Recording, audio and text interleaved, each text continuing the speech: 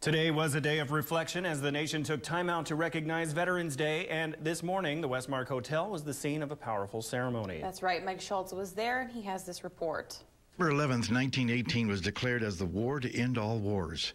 One year later, it was deemed as Armistice Day. Eventually, in 1954, it became Veterans Day.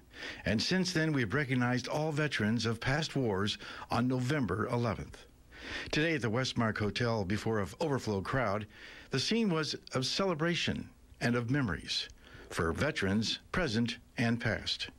You know, we have a lot, a lot of members that are here in this Fairbanks community that have been in the military. What they've done is a lot of people don't understand is that a lot of them they've sacrificed quite a bit by putting on a uniform and serving our nation one, one way or the other. It's a tribute to all the veterans who served our country. Uh, it's, it's an honor to be a part of it.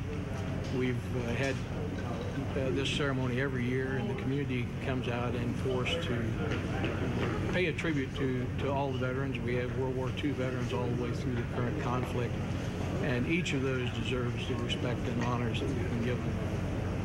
Veterans Day not only honors uh, those that have served our country and, and, fallen, but also those that are still here, that continue to serve our country both in uniform and out of uniform, what they do for our communities, and also their families, and what they do to support their soldiers, airmen, sailors, and Marines. In addition to proclamations from senators, the governor, and three local mayors, a second grade class from Weller stole the show.